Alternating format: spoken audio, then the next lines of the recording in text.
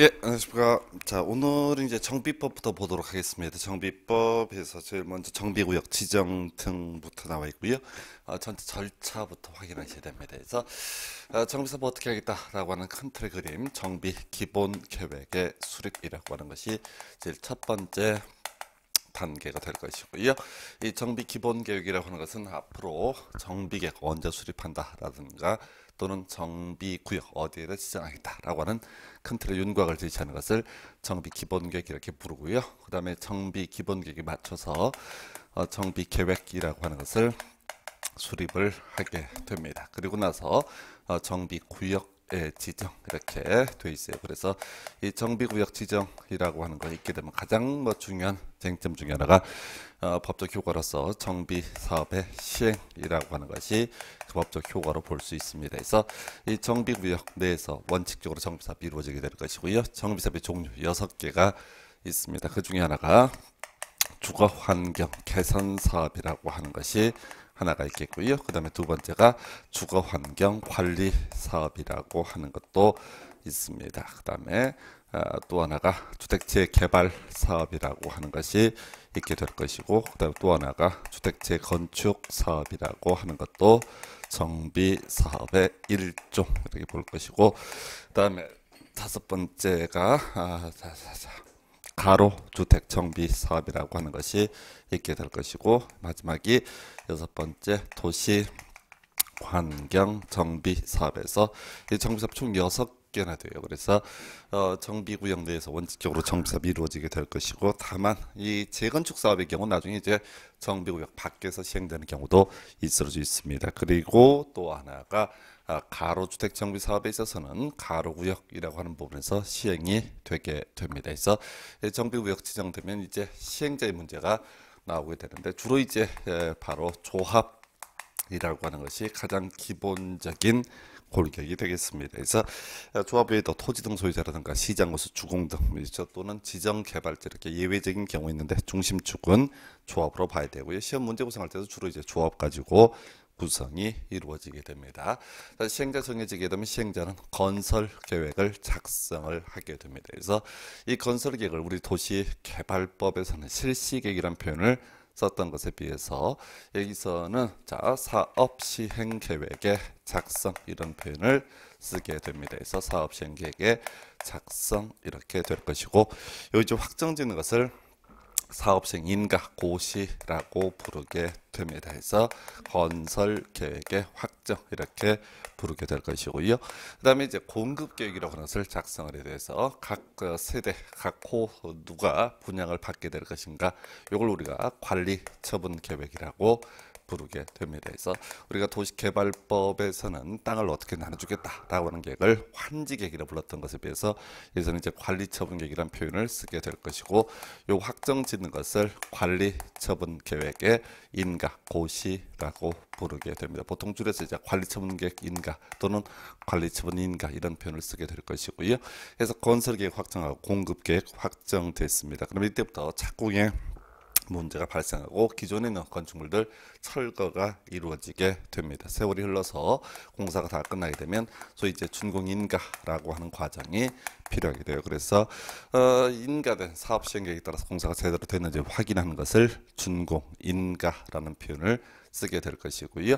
그리고 나서 그리고 나서 자 마지막으로 소유권 이전에 드리겠습니다라고 외부에 발표하는 것을 이전의 고시라고 부릅니다. 그래서 모든 권리공개 이전 확정은 이전의 고시의 다음 날 이루어지게 된다. 해서 어, 전체적인 절차를 보게 되면은 어, 정비구역 지정되고 나서 그리고 나서 어, 사업 시행인가 봐. 그다음에 관리 처분계획인가 준공인가 그다음에 이전의 고시 뭐 이런 절차에 따라서 정비 사업은 이루어지게 됩니다. 그래서 이제 우리 교재 제일 처음에 이제 논의할 것 중에 하나가 정비 기본 계획이라는 주제부터 확인을 해봐야 되는데 이 정비 기본 계획 파트하고 정비 계획 파트는 뭐 내용 자체가 그렇게 많지가 않아요. 많지가 않은데 문제를 좀 구질구질하게 내는 그런 경향들이 있습니다. 그래서 일단 정비 기본계획, 특별시장, 광역시장, 특별자치시장, 특별자치도지사, 그다음에 대도시 시장 등이 기본적으로 기본계획 수립하게 되어 있고요. 그다음에 이제 쟁점이 되는 것 중에 하나가 아, 도 밑에 있는 시 중에서 일반 시가 문제가 됩니다. 그래서 일반 시의 경우 대도시가 아닌 시를 가리켜서 일반 시라고 보통 얘기를 하게 되는데 어, 일반 시에 있어서는 그냥 무조건 기본 계획 수립해야 되는 것은 아니고요. 어, 바로 도지사가 따로 지정을 했을 때만 정비 기본 계획을 수립하게 되어 있습니다. 그래서 여러분 여기서 이제 문제 구성할 때 항상 핵심이 되는 게 뭐냐면 대도시와 일반시를 구분 짓는 게 논의 포인트예요. 그래서 대도시에 있어서는 기본계획 수립하고 혼자서 대도시장이 그다음에 나중에 정비계획 수립하고 정비구역 지정도 대도시장이 혼자서 다 해요. 그래서 이 대도시라고 하는 게 인구 50만 이상의 도시를 이야기하게 될 것이고요. 이에 비해서 자 무슨 지금 음, 일반 시에 있어서는 도지사가 지정을 했을 때만 기본 계획을 수립을 하게 되어 있고요. 나중에 또 도지사한테 기본 계획에 대해서 승인도 필요합니다. 그래서 그다음 나와 있는 주제가 이제 기준이라고 해서 기준은 모두 이제 국토교통부 장관이 정한다. 해서 앞으로 정비계획 수립 기준도 정비 기본 계획 수립 기준 또 앞에서 각종의 기준도 모두 국토교통부 장관이 정하도록 하고 있습니다. 그 다음에 수립 주기 재검토 주기라고 해서 10년 단위로 수립하게 되어 있고요. 5년마다 재검토 이런 것들이 있어요. 작년 시험에 이제 이게 출제가 됐었죠. 그래서 이 기본 계획 자 5년마다 재검토 10년 단위로 수립한다 해서 하여튼 별게 아닌데 작년에 이걸 가지고 답을 구성을 했던 바가 있습니다. 그 다음에 이제 좀 부담스러운 것 중에 하나가 기본 기계 내용이라고 하는 부분이 되겠고요. 요거는 이제 워낙 양이 많아가지고 사실 외우기가 대단히 곤란하죠. 그래서 지금 여기 나와 있는 것 중에 색깔 입혀져 있는 게 9번하고 10번 두 개가 입혀져 있는데 이 두 개만 가지고 이제 쟁점을 삼고 있어요. 앞에서 이제 이 정비 기본 계획하고 나중에 정비 계획을 비교를 함에 있어서 이 정비 기본 계획이라고 하는 것은 자 큰 틀의 그림을 제시한다. 그다음에 정비 계획은 구체적인 계획을 의미한다. 이렇게 이제 구분을 일반적으로 짓게 되는데 그 법조문 구조 보고 나서는 이게 이제 뭔 소리를 하는지 정확하게 감을 잡을 수가 없습니다. 그래서 필요한 개념 자 그 정비 기본 계획 내용 중에서 9번 정비 예정 구역의 계략적 범위하고요. 그 다음에 이제 아, 소위 정비객 수립 시기라고 하는 거 요게 주된 논의의 대상에서 앞으로 이제 그래서 실질적으로는 이 정비 기본 계획이라고 하는 것을 통해서 우리가 이제 파악할 수 있는 것은 언제쯤 정비 계획을 수립을 하겠다라고 하는 이 개념 하나고요. 그다음에 어디에다 정비 구역을 지정을 하겠다라고 하는 이 두 가지를 확인할 수 있습니다. 그래서 그 많은 내용 중에서 나머지는 필요가 없고요. 그저 정비 계획의 수립 시기 그리고 정비 예정 구역의 계략적 범주. 이두 개가 정비 기본 계획의 중심적인 축. 그리고 역시 작년에 이제 문제 구성할 때 아주 어렵게 구성했던 것이 이 정비 계획의 수립 시기라든가 또는 정비 예정 구역의 계략적 범위라고 하는 것이 정비 기본 계획의 내용이 되는데 일정한 경우에는 생략할 수 있다 해서 거기다 이제 자료를 정리해 놨는데 필요 없고요. 그냥 생략할 수 있다. 요 정도만 기억하시면 좋겠습니다. 그래서 그래서 정비 기본 계획의 내용으로서 볼 수 있는 것은 정비 계획 수립 시기하고요. 정비 예정 구역의 계략적 범위 요 두 개가 이슈가 되게 될 것이고 그래서 자 원래 이 두 개가 포함이 됨이 원칙인데 일정한 경우에는 어떻게 할 수 있다? 생략할 수 있다 해서 외울군요. 생략할 수 있다까지 이렇게 살펴봤습니다. 그래서 이 정도가 기본 계획의 기본적인 틀에 관한 부분. 자, 그다음에 이제 절차 관련해서 어, 보게 되면은 지금 이제 시장 등은 기본계획 수립 변경할 때 주민에게 공람하고 그다음에 지방 의회 의견 듣고 도시계획위원회 심의 등을 거친다. 뭐 이렇게 이제 절차가 돼 있어요. 큰 이슈는 되지 않는데 항상 우리 시험에는 원칙은 항상 내지 않고요. 예외 가지고 출제가 이루어지게 됩니다. 그런 전제하에서 일단 아까도 논의했지만 대도시 시장하고요. 대도시 시장이 아닌 일반시 시장을 구분을 하게 되면 대도시 시장은 자 기본계획 수립해서 그냥 그걸로 끝냅니다. 근데 대도시 시장이 아닌 시의 시장에 있어서는 따로 이 기본계획 수립해서 도지사의 승인을 받아야 된다. 그래서 시험 문제 구성할 때 맨날 이런 식이야. 대도시 시장은 도지사의 승인을 받아야 된다. 이렇게 말장난하는 식의 질문들 또 나중에 이 정비객 수립에 있어서도 대도시시장이 정비객 수립해서 어, 도지사에게 도지사에게 뭐 지정 신청을 한다라는 식의 질문 틀린 표현이 되겠습니다. 그래서 어, 그래서 제가 그런 말씀을 드려요. 대도시라는 게 이제 어, 경기도로 치게 되면 그런 경우 있겠죠. 성남시라든가 수원시라든가 안양시 이렇게 이제 인구 50만 이상의 도시를 대도시라고 부르게 되는데 우리 앞에서 관리계획 할 때도 얘기했지만은 이 대도시라고 하는 것은 도지사 밑에 있지 않습니다 사실상 그래서 어, 원래 대도시라는 개념이 만들어진 이유 자체가 뭐냐면은 어, 시골 같은 경우를 보게 되면 보통 인구 100만 정도의 도시를 광역시로 승격을 해서 독자적인 행정 권한을 부여하는 게 일반적인 용례입니다. 그런데 어, 지금 이제 어, 경기도 같은 경우는 인구 100만 넘는 도시가 겁나 많아요. 그래서 이 몇 개의 그 뭐죠? 이 대도시를 만약에 광역시로 올려주게 되면은 경기도는 남는 게 아무것도 없습니다. 그래서 오산 뭐 이런 몇 군데 제하고는 다 빠지게 되기 때문에 그래서 어 이제 대도시라는 개념을 만들어낸 것이고 결론적으로 우리가 이제 기억해야 될 것은 대 도시 시장은 도지사에게 손을 내밀지 않는다. 이게 핵심이 되겠고요. 그 다음에 한 번 문제 구성됐던 것 중에 하나가 어, 심의 생략이라고 해서 자 이게 뭐 디테일한 내용은 알 수 없죠. 그래서 원래 이제 이 기본 계획 수립해서 어, 나중에 기본 계획 확정하는 과정에서 도시계획위원회 심의를 거쳐야 된다 이렇게 되는데 시험에 나오는 것은 심의를 거치지 않고 생략할 수 있는 경우만 구성이 되고 있습니다. 그래서 115페이지인가요? 126페이지인가요? 하여튼 그 교재 하나 둘 셋 네 번 세 번째 박스 보니까 이런 게 나와 있어요. 자 핵심 지문에서 기본 계획 내용 중 공동 이용 시설에 대한 설치 계획을 변경하는 때 지방 도시 계획의 심의를 거치지 않아도 된다 해서 오른편에서 이 내용은 앞에 그 뭐죠 심의를 생략할 수 있는 경우를 외우는 게 중요한 게 아니라 어떻게 가야 돼요? 그냥 이러이러한 경우 어떻다 심의를 생략할 수 있다 이런 식으로만 가시는 거예요. 그래서 절대로 디테일한 내용을 외울 수는 없습니다. 그래서 다시 기본 틀 잡습니다. 지금 두 가지 얘기를 했어요. 해서 자 일반시의 시장은 어, 기본객 수립해서 도지사의 승인을 받아야 된다 이렇게 되어 있고 대도시 시장에 있어서는 도지사의 승인을 요하지 않는다. 해서 문제 구성할 때 대도시장은 도지사의 승인을 받아야 된다라고 해서 틀게 뽑아주고요.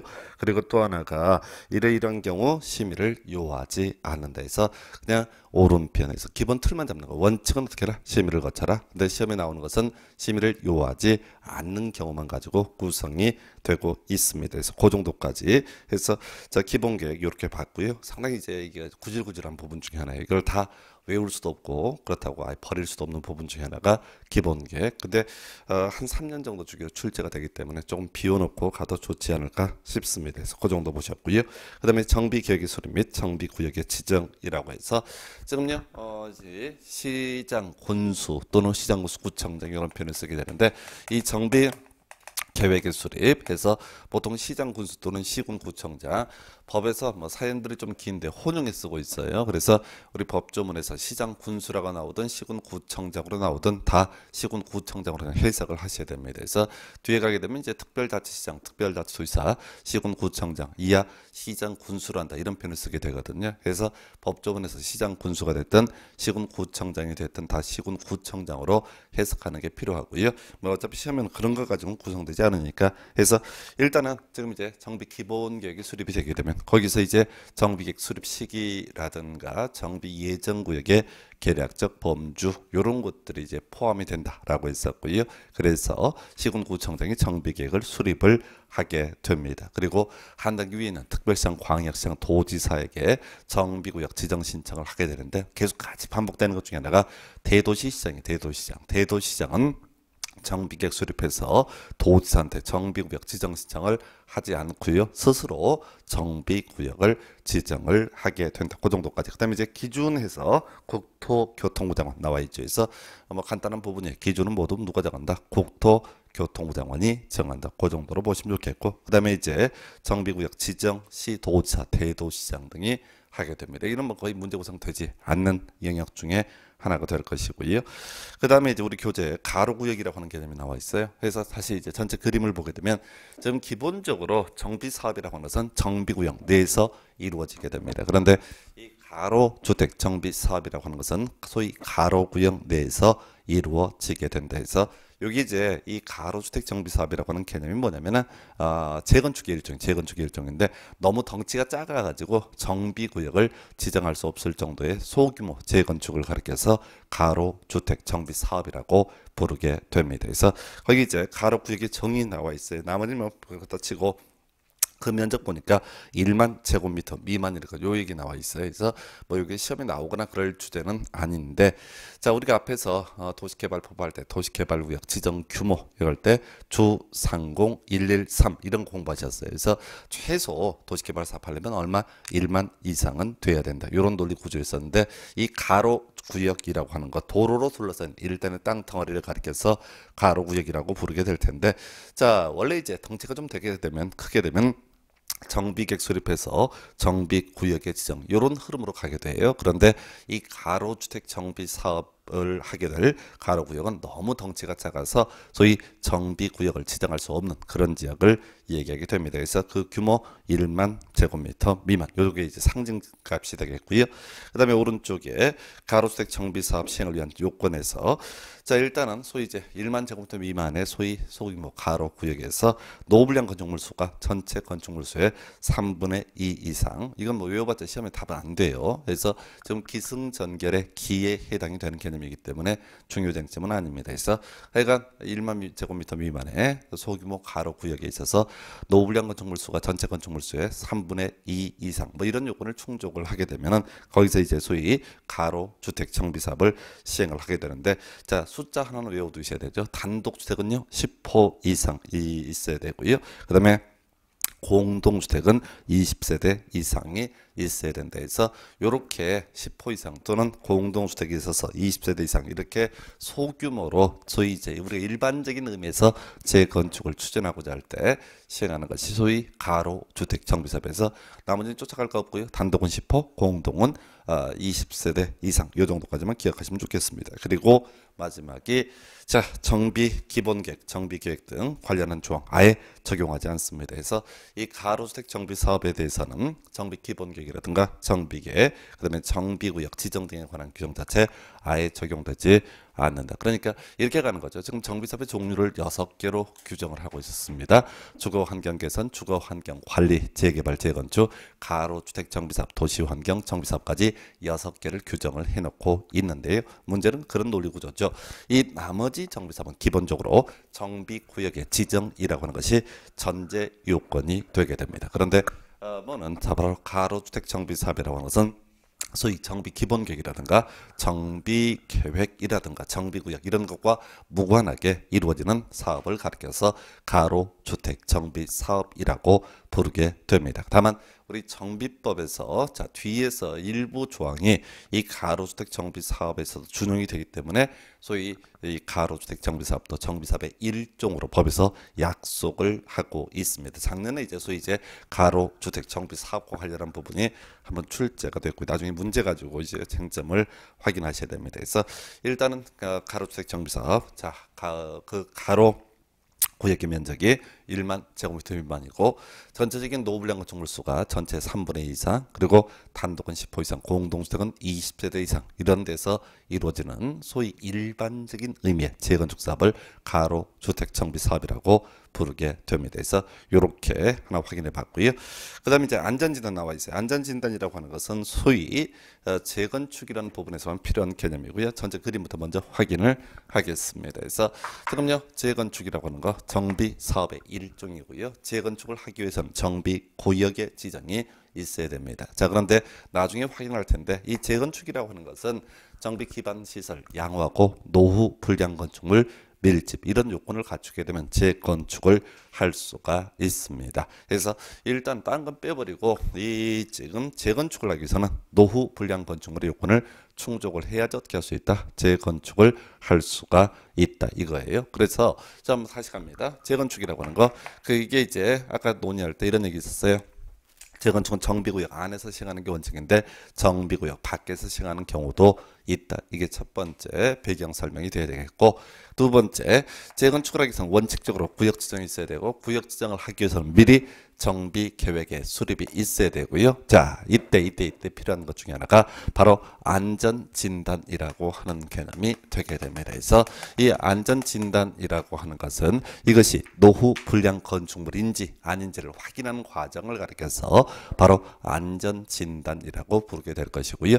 그래서 재건축과 관련 관련해서 이렇게 봐야 되죠.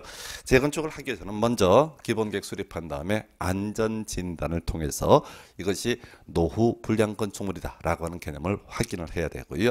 그리고 나서 정비 계획 수립하고 구역 지정하고 저 재건축하는 게 요게 하나의 방법. 또 하나가 재건축을 추진함에 있어서 자 지금 이제 정비구역 지정됐는데 정비구역 옆에 있는 주택단지까지 같이 묶어서 재건축을 하고자 합니다. 이걸 우리가 정비구역 밖에 재건축이라고 부르게 되는데 자 우리가 재건축을 하면 최소한 노후 불량 건축물 요건은 충족을 해야 되거든요. 그래서 자, 이 동네가 노불량 건축물 일정한 요건을 충족을 했는지 여부를 확인하는 것을 우리가 안전진단이라고 부르게 됩니다. 그래서 안전진단은 크게 두 가지 경우수가 있는 거예요. 자, 시장 군수가 정비객 수립하기 전에 하는 안전진단이라는 개념이 있을 것이고 하나의 정비구역이 지정되고 그 옆 동네까지 같이 묶어서 재건축을 하고자 할 때 그 부분에 대한 안전이단 크게 두 가지로 구분할 수 있습니다. 그래서 자 뭐 내용 복잡한데 실제 시험 문제 구성되는 건 단순해요. 128페이지인가요? 보기 보니까 안전 진단의 대상에서 의무적 안전 진단이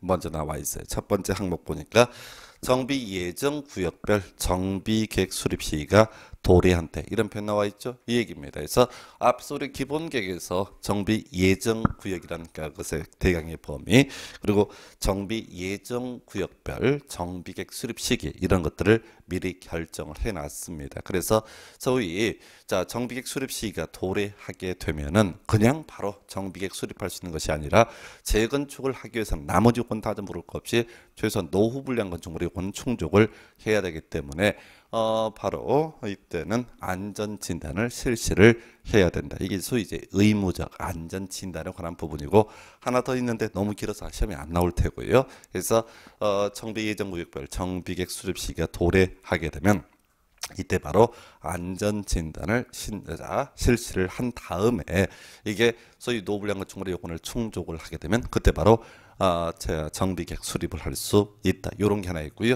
그두 번째 안전진단 신청이라고 하는 게 나와 있어요. 그래서 사실 원래 이 안전진단 신청은 법조문이 엄청 많습니다. 그래서 신청할 수 있는 경우 수가 참 많은데 숫자 외우셔야 돼요. 첫 번째 외우실 숫자입니다. 그래서 바로 10분의 1이라고 하는 거. 자, 문장은 읽으실 필요가 없고요. 10분의 1이라는 숫자만 기억을 하시면 됩니다. 그래서 이 숫자의 경우에는 과거에 출제됐던 지문들을 분석을 하게 되면 3분의 1, 5분의 1에서 다 틀리게 뽑아요. 근데 그 긴 내용을 외울 필요가 없는 것 중에 하나가 너무 길어서 시험에 내지 않고요. 얘는 무조건 틀리게만 구성을 하는 거예요. 만약에 10분의 1을 넣어주게 되면 그걸 다 써줘야 되거든. 그래서 현실적으로 객관식 시험 지문에는 구성을 할 수 없습니다. 다만 출제를 하고 싶으면 딱 방법이 한 가지가 있어요. 괄호 열고 10분의 1 요거 넣기 해서 기억 니은 디귿에 알맞은 것 하면 하여튼 안전진단 신청이라고 하는 것 들어가요. 뭐 뭐야 10분의 1이라는 숫자를 외워두셔야 됩니다. 정비법에서 한 대, 대여섯 개 정도 숫자를 외워야 되는데 그 중에 하나가 바로 10분의 1이라고 하는 거에서 정리 들어갑니다. 지금요 안전 진단하는 경우 크게 두 가지로 구분할 수 있습니다. 그래서 정비객 수립하기 앞서서 하는 안전 진단 소위 그걸 의무적 안전 진단이라고 부르게 될 것이고 이런 경우 정비 예정구역별 정비객 수립 시기가 도래하게 되면 이때 바로 안전 진단을 실시를 해야 된다. 그리고 또 하나 정비구역 밖에 재건축 등을 하고자 할때 어, 역시 노후불량 건축물 요건은 충족을 해야 될 것이고 그래서 이때 안전 진단을 신청했을 때 10분의 1이라고 하는 거 첫 번째 암 경목 10분의 1 되겠고요. 그 다음에 나와 있는 것이 안전 진단의 제외 대상. 자, 요거 지문 이제 세개 나와 있는데 원래 법에는 네 개가 나와 있고 하나는 너무 길고 복잡해서 시험에 나오지 않고요. 요세 개가 아, 지금 오지 선대형 지문에서 최소 두 개, 많으면 세 개까지 다 구성하는 그런 지문입니다. 그래서 지문 길이가 이 객관식 문제를 구성하기 참 편하게 되어 있기 때문에 출제위원들이 거의 도배를 하는 지문 중에 하나가 이 지문이에요. 그래서 자, 본게 보니까 키워드가 붕괴, 그다음에 사용 금지, 진입 도로 등 뭐 이런 게 나와 있습니다. 그래서 붕괴, 사용 금지, 진입 도로 등. 자, 뭔 소리야? 지금 안전 진단을 하려고 가 보니까 이미 그 건물이 붕괴가 되어 버렸습니다. 그러면 굳이 안전 진단을 실시할 필요가 없 없다라고 이렇게 되어 있고요. 두 번째, 자 붕괴가 되지는 않았는데 거의 무너질 게 너무나 확실합니다. 사용 금지가 필요하다라고 판단해도 이때 바로 안전 진단을 실시할 필요가 없다. 자, 세 번째가 진입 도로 등 이렇게 돼 있는데 개념이 이렇게 가는 거예요. 자, 원래 우리가 재건축을 추진함에 있어서 어떤 주택 단지만을 대상으로 자, 재건축을 하는 경우도 있는데요. 이게 이제 큰 도로하고 연결돼 있는 것이 이렇게 좁은 경우 등이 있을 수 있습니다. 진입 도로가 좁을 때가 있어요. 그래서 그 옆에 이 주택을 같이 포함을 시켜서 재건축을 하는 경우가 있습니다. 진입도를 확보하기 위해서 주택 일부를 포함시킨 경우 있거든요. 예, 이런 경우에는 자 역시 안전 진단을 실시할 실익이 없다 해서 개념부터 잡게 되면 붕괴 사용 금지 진입도로 이런 경우에는 일단은 이미 무너져 버렸거나 또는 무너질 우려가 있거나 또는 무너뜨리려고 할 때는 이때는 어떻다 안전 진단 대상에서 제외되게 된다 이렇게 가는 거예요. 자 그래서 의미상은 이미 무너졌거나 무너질 우려가 있거나 무너뜨리려고 할 때 이렇게 가는데 실제 시험에 말장난하는 것은 거기 뒤에 시장 군수가 인정하는 것 나와 있죠. 요걸 가지고 매번 이제 시도지사가 인정하는 것 이렇게 장난을 쳐요. 그래서 지금 모두 시장 군수가 인정하는 것 안전 진단 대상에서 제외되게 된다 해서 그리고 자 여기는 이제 까다롭게 구성하는 게 지금 붕괴 사용금지 진입도로 시장 군수가 인정하는 것. 그리고 나서 안전 진단 대상에서 제외된다. 이렇게 가야 될 것을 옆에 지문들을 보게 되면 이렇게 구성해요. 붕괴 사용금지 진입도로 시장 군수가 인정하는 거 안전 진단 대상이다라는 식으로 틀리게 구성을 하기도 합니다. 해서 세 가지. 자, 붕괴 사용금지 진입도로 시장구수가 인정하는 거 안전 진단 대상에서 제외하게 된다 해서 이렇게 여기 제일 뭐 많은 지문을 구성하는 그런 어, 파트가 될 것이고요. 그 다음에 이제 안전 진단 실시 등 검토합니다. 그래서 지금 이제 시장 군수가 어, 소위 이제 시군구청 등 같은 의미라고 그랬었고요. 소위 이제 안전 진단을 실제로 자기가 직접 하는 거냐라고 했을 때 그건 아니고요. 소위 이제 안전 진단 전문 기관 등의 의뢰에서 안전 진단을 실시를 하게 됩니다. 지난번에 이게 한번 답이 됐는데 중요한 질문은 아니고요. 오히려 자 안전 진단에 드는 비용 부담 보게 되면 요청하는 자에게 부담케 할 수 있다. 외울 게 뭐라고요? 요청한 자에게 부담케 할 수 있다.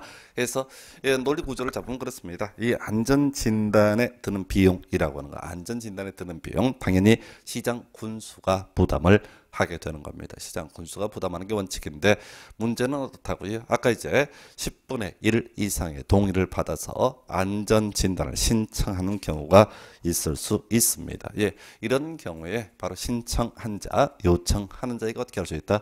부담케 할 수 있다라고 해서 여기까지가 주된 논의 대상에서 지금 이제 외울 것들 정리하게 되면 첫 번째 자 안전 진단의 대상이라고 해서 자 정비 예정 구역별 정비객 수립 시가 도리한테 이게 소위 이제 의무적 안전 진단인데 시험 문제 답을 뽑지는 않고요. 자 뽑을 수 있는 것 중에 하나가 어, 신청에 따른 안전 진단이라고 해서 10분의 1 이상의 동의 요게 하나의 포인트가 되게 될 것이고 그 다음에 제외 대상 제일 중요하죠. 붕괴 사용 금지 진입도로 시장 우수가 인정하는 것 요게 중요한 포인트 그 다음에 어, 요청한 자에게 부담케 할 수 있다 요 정도까지가 안전 진단에 관한 주된 출제 포인트가 되겠습니다. 나머지 지문들은 너무 길어져 가지고요. 거의 요즘엔 출제가 되지 않고 있습니다. 그래서 이 정도가 안전 진단. 안전 진단은 과거에 한 시대를 풍미했던 거의 매년 출제가 되기도 했던 그런 영역이에요. 그런데 요즘에는 이제 한 3, 4년에 한 번, 한 문제씩 구성하는 그런 영역에서 이렇게 한 네 가지 정도의 쟁점 기억하시면 좋겠고, 정비구역 해제 관련해서는 소위 이제 의무적 해제 사유, 그 다음 페이지에 재량적 해제 사유가 있게 되는데 못 외워요. 자, 지난번에 이제 의무적 해제 사유가 한번 출제가 됐었는데 그냥 틀리라고 내는 문제입니다. 그래서 우리 정비법 여섯 문제 중에서요.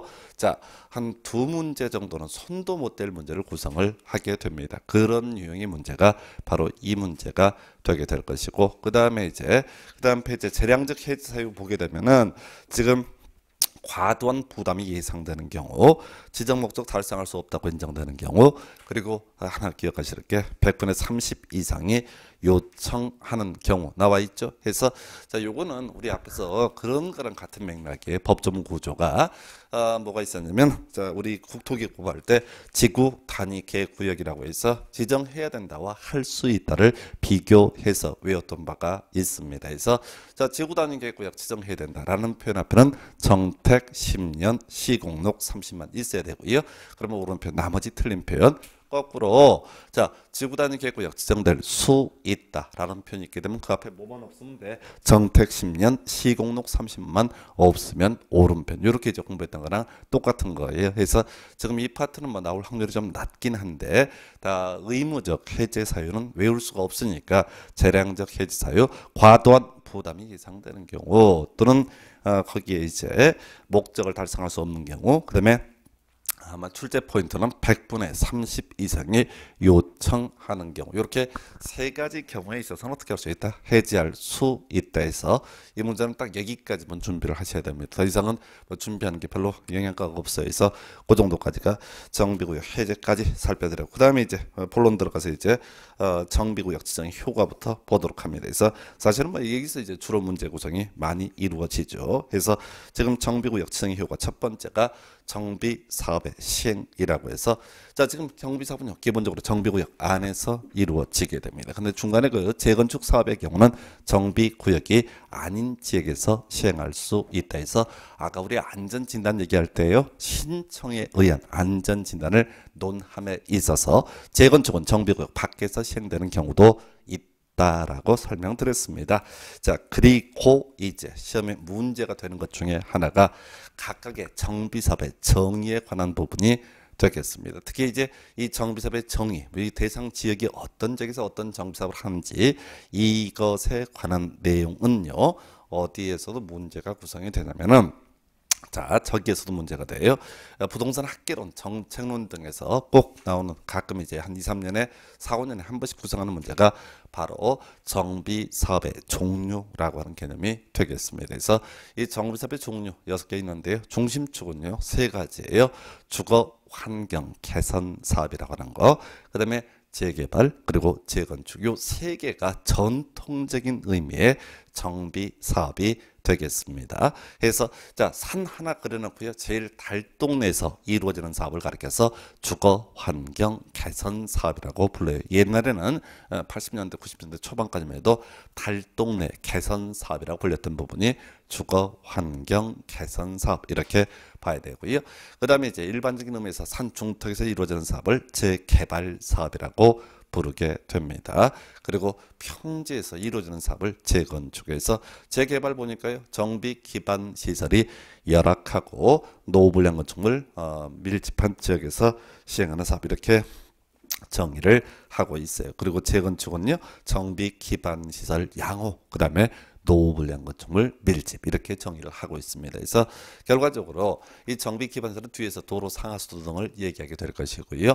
어, 지금 이제 재개발 재건축을 비교했을 때 열악하고 노후불량 건축물 밀집하면 재개발, 양호하고 노후불량 건축물 밀집하면 재건축. 그래서 앞에서 우리가 재건축 관련해서 안전 진단이라고 하는 개념이 문제가 됐던 이유가 자, 재건축은 사실상 유일한 요건 노후 불량 건축물이 일정한 요건을 충족을 해야 된다라고 해서 그래서 안전 진단이 문제가 된 바가 있습니다. 그래서 정부사업 정리하면요. 제일 달동네 시행하는 사업 주거 환경 개선 사업 법일성이 할 때는 자 도시 저소득 주민이 집단적으로 거주하는 지역이다. 정비 기반설이 극히 열악하다. 그다음에 노후 불량 건축물이 과도하게 밀집한 지역이다. 이렇게 정의를 하고 있고요.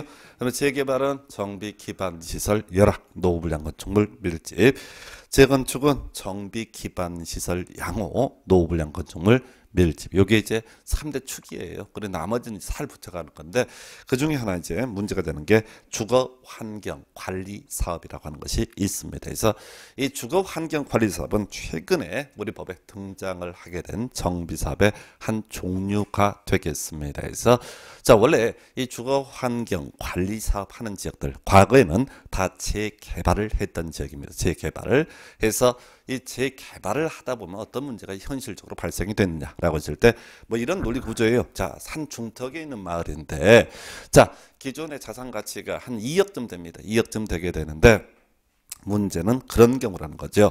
이 2억쯤의 자산 가치가 갖고 있는데 한 1억쯤의 분담금을 내게 되면은 5억짜리 아파트 주겠다. 돈 많이 버는 거죠. 그래서 원래 2억에다가 1억 더하면 3억이 돼야 되는데 서 이때 4억도 아니고 무려 5억 한 2억쯤 남는 대박이 되는 사업이 재개발 사업의 논리 구조입니다. 자 그런데 문제는 뭐냐면은 그 산 중턱에 사시는 분들 그왜 사냐면 형편이 좀 어려워 살거든. 그래서 분담금 1억이 없어가지고 자그 뭐죠 다 쫓겨나는 그런 구조가 문제가 되게 됩니다. 그래서 이 주거 환경 관리 사업이라고 하는 것은 자 원주민들 그 동네 그대로 살 수 있게 하자. 그럼 어떻게 해야 된다? 아파트 분양하면 안 된다. 그래서 시장 군수 즉 공적 주택가 나서서 정비 기반설 도로 같은 거 확장을 해주고요. 스스로 알아서 집을 뜯어 고치는 방식이 뭐가 된다? 이걸 우리가 주거 환경 관리 사업이라고 부르게 됩니다. 그래서 특히 이제 서울시에서 이게 이제 만들어진 그런 유형의 사업에 의해서 그 서울시에서 과거에 특히 이제 강북 지역 이런 지역을 대상으로 재개발 등을 함에 있어서 원주민의 재입주율이 10%도 되지 않는 그런 문제들 그래서 재개발이라고 하는 것 자체가 원주민을 다 쫓아내는 이런 사업의 에, 어떤 문제점이 드러나게 되니까 이제는 그냥 그 지역 주민들 알아서 그냥 그 커뮤니티 유지하면서 살 수 있게 해보자라고 하는 것이 주거 환경 관리 사업. 그래서 뒤에서 뭐 사업 시행 방식 얘기하겠지만 절대로 아파트 분양하는 방식이 아니다. 스스로 집 뜯어 고치는 방식이다라고 하는 것이 주거 환경 관리 사업이 되게 될 것이고요. 그 다음에 이제 가로 주택 정비 사업이라고 하는 거. 자, 어, 뭐라고 정의하고 있냐면 가로 구역은 노블량 밀 건축물이 밀집한 가로 구역에서 종전의 가로를 유지하면서 자, 이 소규모로 주거 환경 개선 이렇게 정의를 하고 있어요. 그래서 요거는 의미상 자, 재건축이라고 그랬어요. 근데 아까 재건축하려면 정비 계획 수립하고 구역 지정하고 등등등 좀 덩치가 돼야지 재건축을 할 수 있거든요. 근데 아까 규모가 1만 미만이다. 그리고 단독은 10호 이상, 공 동은 20세대 이상 등 소규모 재건축하는 지역을 가리켜서 가로 주택 정비 사업. 그래서 나중에 법조문 구조를 보게 되면 이 가로 주택 정비 사업에 있어서는 뭐라 바로 재 건축하고 똑같이 취급을 합니다. 거의 대등하게 재건축을 취급하는 것이 같이 취급하는 것이 바로 가로 주택 정비 사업 이렇게 봤고요. 마지막 정비 사업 바로 도시 환경 정비 사업. 자, 상업적, 공업적 등으로서 이런 표현 쓰고 있죠. 예, 상가 재건축, 공장 재건축을 가리켜서 도시 환경 정비 사업이라고 부르게 됩니다. 그래서 이렇게 해서 지금 정비 사업의 종류 여섯 개 보셨어요. 그래서 일단 중심축 주거 환경 개선, 자 도시 저소득 주민이 집단적으로 거주하고 있고 정비 기반설 극혈락하고 노후 불량 건축물 과도하게 밀집한 지역 주거 환경 관리 사업이라고 하는 거.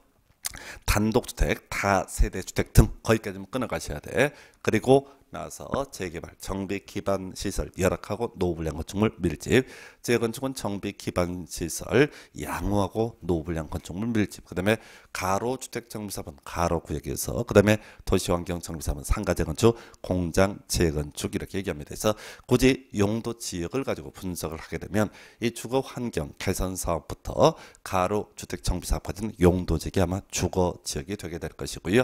상가 재건축, 공장 재건축하는 지역이 도시환경 정비사업이 상업적, 공업적. 그래서 이 정비 사업은 논리 구조적으로 주 상공 지역에서 이루어지는 사업이다. 이게 이제 논의 전제가 돼야 될 것이고요. 이게 이제 첫 번째 이 사업의 정의를 가지고 문제 구사하는 것이 하나의 포인트가 될 테고 두 번째가 시행 방식에 관한 부분이 되겠습니다. 그래서 자 앞에서 제가 전반적인 정비 사업의 절차 등을 논함에 있어서 소위 관리 처분 계획 요걸 갖고 중심으로 설명을 드렸었는데 예, 정비 사업은 중심축 자체가 관리 처분 계획 방식을 중심으로 이루어져 있고요. 다만 법조문 구조를 분석하다 보면 수용 방식, 환지 방식에 대해서는 도시 개발법 규정을 준용한다 이런 식으로 이제 규정을 하고 있습니다. 그래서 지금 이 정비 사업의 종류를 묻는 게 16회 때, 20회 때 구성이 됐었고요. 그 후로 출제가 되고 있지 않습니다. 미쳐버려요. 근데 외울 게 겁나 많아요. 보면은 이 정비 사업의 시행 방식이라는 게 주거 환경 개선 사업 같은 경우는 저 기본 다섯 개인데 이걸 이제 표현하기 따라서 뭐 10개 개를 만들 수도 있는 거예요. 혼용 방식이 뭐하고 뭐를 혼용한다 이런 식의 구조이기 때문에 아주 어렵습니다. 그래서 이 파트는 수험생 입장에서 공부하실 때 이렇게 가야 돼. 중심축이 되는 게 관리 전문격 방식하고요. 환지 방식 두 개가 중심이 돼요. 그래서 이 정비사업 허용되는 방식을 외우는 게 아니라 허용되지 않는 방식을 외우는 게 공부 방법이에요. 그래서 지금 정비법은 정비사업이라고 하는 것은 기본적으로 관리 처분계획 방식을 중심으로 이루어져 있습니다. 그런데 유일하게 이 여섯 개 정비사업 중에서 관리 처분계획 방식을 채택할 수 없는 정비사업이라고 하는 것이 뭐가 있냐라고 했을 때 주거 환경 관리 사업이라고 하는 것이 있습니다. 아까 주거환경관리사업이라는 게 재개발하는 지역 등을 대상으로 해서 자 아파트를 짓는 것이 아니라 자 누가 어, 시장구수 등이 도로 등을 확장을 해주고 스스로 주택을 개량하는 방식 소위 자가개량 방식이라는 걸 채택하게 되는데 뭐 자가개량 방식 이런 게 중요한 것이 아니라 유일하게 관리 처분 방식을 채택할 수 없는 정부사업은 바로 주거환경관리사업이라고 하는 개념이 되게 될 것이고요. 그리고 또 하나가 자 환지 방식 이것도 이슈가 돼요. 왜 우리 도시개발법에서 환지 방식이라고 하는 걸 공부를 했었거든요.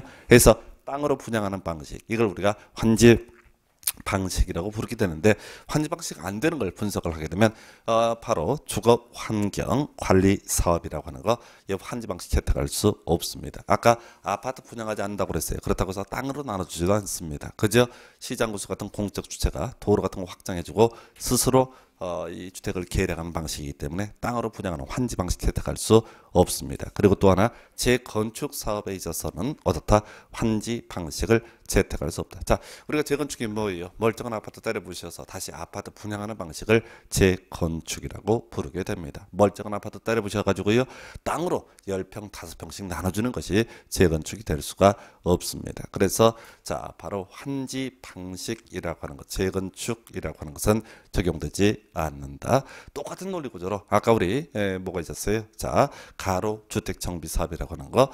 이 가로 주택 정비 사업이라고 하는 거 바로 뭐야? 환지 재건축과 똑같기 때문에 환지 방식을 채택할 수 없다. 그래서 이 파트 시행 방식을 묻는 문제를 풀어갈 때는 이렇게 가는 거예요. 이걸 뭐 시행 방식 뭐가 되고 안 되고를 다 외우는 게 아니라 자 먼저 자 정비사업 시행 방식 틀린 것을 고르시오라고 하게 되면 제일 먼저 찾아볼 게 주거 환경 관리 사업 찾아보셔야 됩니다. 그래서 이 주거 환경 관리 사업에 혹시 관리 처분 계획이라든가 또는 환지라는 표현 들어가면 틀렸다. 자 만약에 주거 환경 관리 사업이 없다라고 하면 그 다음 찾아볼 게 재건축이에요. 재건축을 찾아봐서 혹시 거기에 무슨 방식? 환지 방식이라는 표현 들어가면 틀렸다. 이렇게 가는 거예요. 그리고 자 그것도 없으면 그때 바로 가로 주택 정비사업을 찾아봐야 되고요. 가로 주택 정비사업에서 환지라는 표현 들어가면 어떻다? 틀렸다. 이렇게 가는 거예요. 그래서 보통 수험생들이 이거 외우실 때 이제 허용되는 걸 다 외우는 방식으로 공부를 해요. 그러니까 겁나게 몸이 힘들어지죠. 외우기도 힘들고 그래서 안 되는 것. 왜 기존의 7조의 기출 문제들을 분석을 하게 되면 되는 걸 물어보는 게 아니라 항상 안 되는 걸 물어봐요. 안 되는 걸 물어보기 때문에 주거 환경 관리 사업에 있어서는 아, 관리 처분계 환지 방식 채택할 수 없다. 그다음에 재건축하고 가로주택 정비 사업에 있어서는 환지 방식을 채택할 수 없다. 요렇게 이제 분석하게 되면 요렇게 외우시게 되면 딱딱 떨어져요 답이. 그래서 출제위원들이 그냥 대충 내는 게 아닙니다. 그래서 법정 분석을 해가지고요 어, 인격과 아는 것을 분석을 해서 이렇게 출제를 하기 때문에 요렇게 이제 외우시게 되면 요 파트는 해결을 하실 수 있고요. 그 다음에 나와 있는 것이 이제 여러분 교재 그 다음 페이지 가면 관련 용어로서 노후 불량 건축물 정비 기반 시설 그리고 또 하나가 바로 공동 이용 시설이라고 하는 용어. 해서 요거 별거 아닌데 시험 문제 중요 포인트로 삼고 있죠. 그래서 먼저 노후 불량 건축물 거기 제가 이제 하나 넣어놨어요. 안전 사고에 우려가 있는 건축물을 가리켜서 노후 불량 건축물 전혀 중요치 않습니다. 얘는 항상 옳게 출제예요. 다만 일반 수험서에는 노후 불량 건축물의 종류가 거의 A4 용지 두 페이지에 걸쳐서 쫙 써 있습니다. 예, 시험에 나오지 않습니다. 너무 길어지기 때문에 그게 이제 어, 일반적으로 그 노후 불량 건축물의 정리를 쫙 정리를 하다 보면 한 열 줄 나와요. 열줄 해서 학생들이 열심히 외우시는데 부질없고요. 통계적으로 안전사고 이거는 항상 나오고요. 답은 되지 않는지 보통 틀린 걸 고르셔야 할 때 항상 옳게 내는 지문이 노후 불량 건축물 답이 안 되고요. 그럼 이 용어 관련해서는 시험 문제 답이 되는 게 소위 정비 기반 시설하고 공동 이용 시설 비교하는 게 출제 포인트예요. 자, 그럼 이제 정비 기반 시설하고 공동 이용 시설 비교해서 외우셔야 되는데요. 자, 이렇게 가십시다. 정비 기반 시설이라고 하는 거. 정비 기반 시설 이라고 하는 거. 자, 일단 기반 시설이다. 여기서부터 얘기가 시작이 되는 거예요. 그래서 우리 어디에서 기반 시설에 관한 부분을 공부를 한번 했었냐면 바로 국토계획법에서 그런 게 있었죠. 개발 밀도 관리구역이라고 해서 개발 밀도 관리구역 기반 시설이 부족하고 설치가 곤란한 지역에서 시행하는 아, 지정되는 것을 바로 개발 밀도 관리 구역이라고 부르게 됩니다. 그래서 이 개발 밀도 관리 구역이라고 하는 거 할 때 좀 더 구체적으로 알려주세요 했을 때 도로 상하수도학교 2년 20% 이런 식으로 외웠단 말이죠. 그래서 지금 기반 시설의 대표적인 값은요. 바로 어, 뭐가 된다? 도로와 상하수도입니다. 그러면 이제 정비 기반 시설이라고 하는 것도 일단은 빨간 기반시설, 파란 기반시설 다 떠나서 정비 기반 시설이라고 하는 것도 뭐부터 시작한다고요? 도로와 상하수도부터 시작이 되게 됩니다. 그래서 이 정비 기반설의 종류를 보니까 도로와 상하수도, 그다음에 공용 주차장, 공동구, 공원 이렇게 나와 있어요. 그래서 그 외에도 몇 개가 더 있는데 우선 외울 것은 공용 주차장, 공동구, 공원이라고 하는 것은 정비 기반 시설로 분류한다. 자, 요거 이렇게 외우셔야 돼. 도로 있으면 뭐가 필요해? 주차장. 그래서 그 주차장 이름을 뭐라고 그런다? 공용 주차장. 자, 뭐 상하수도가 있죠. 상하수도. 상하수도 같은 것들 이 땅속에다 묻어두는 큰 관을 가리켜서 공동구라고 부르게 됩니다. 그리고 공원이라고 하는 것. 그래서 도로, 상하수도, 공용주차장, 공동구, 공원이라고 해서 문제 출제 포인트는 그거예요. 자, 출제인들이 과거에 쉽게 구성해 왔던 것이 공용주차장, 공동구, 공원. 이게 공짜 돌림이니까 마치 공동 이용 시설처럼 이렇게 착각을 할 수 있습니다. 그래서 뒤에서 공동 이용 시설 종류를 볼 텐데 주민이 공동으로 사용하는 이런 표현 들어가거든요. 그래서 공용 주차장, 공동구, 공원이라고 하는 것은 소위 공동 이용 시설이 아니라 정비 기반 시설로 보려고 있다. 그래서 이게 이제 그 외에도 광장, 녹지 이런 게 쭉 종류가 몇 개가 더 나오게 되는데 문제는 기본 틀만 잡는 거예요. 도로와 상하수도 그리고 공용 주차장, 공동구, 공원이라고 하는 거죠. 축만 딱 잡게 되면 요 비슷한 것들은 뭐로 분류한다? 정비 기반 시설로 분류를 하게 된다. 이렇게 기억을 하셨으면 좋겠고요. 그리고 이제 중간에 제가 정리할 때 뭐 정비 기반설의 설치 및 귀속 얘기 나와 있는데 별 필요 없어요. 이게 이제 23회 때인가 22회 때 틀리라고 내는 문제 중에 전형적인 건데 제가 교재 작업할 때는 다 담다 보니까 이런 게 들어갔고요. 그 오른쪽 페이지에 이제 공동 이용 시설 3번 나와 있죠. 그래서 주민이 공동으로 사용한 놀이터, 마을회관, 공동 작업장, 공동으로 사용하는 구판장, 세탁장, 뭐, 뭐 화장, 화장실, 수도 뭐 등등 나와 있습니다. 그래서 이걸 두 개를 다 외우려고 하시게 되면 죽도법도 되지 않습니다. 나중에 시험장 가게 되면 어서 다 본 것들이에요. 미쳐버립니다. 그래서 자 그저 제가 권해드리는 방법은 이 정비 기반 시설하고 공동 이용 시설을 비교하는 비교하는 이 문제가 구성이 되니까 바로 정비 기반 시설 하나만 정확히 외운다라고 해도 해결을 하실 수 있어요. 그래서 도로와 상하수도 그 다음에 공용주차장, 공동구, 공원 요만큼을 정비 기반 시설로 부르게 된다. 그리고 그에 대응해서 주민이 공동으로 사용하는 놀이터, 마을회관 등등등을 가리켜서 바로 그 바로 공동 이용 시설로 구분하게 됩니다. 나머지 뭐 대지나 주택단지 이런 것들은 다 사이드 쟁점에서 결과적으로 이 용어 파트에서는 자 답을 구성할 때 정비 기반 시설과 공동 이용 시설을 비교하는 것이 포인트. 자, 그 다음에 이제 도시군 관리계획 의지에서 별로 중요치 않아요. 자, 우리 앞에서 고 얘기 한번 해볼까요? 자, 도시개발 구역 지정에 따른 법적 효과. 아, 그 중에 하나가 도시개발 구역 지정되면 도시적으로 결정 고시된 것으로 본다.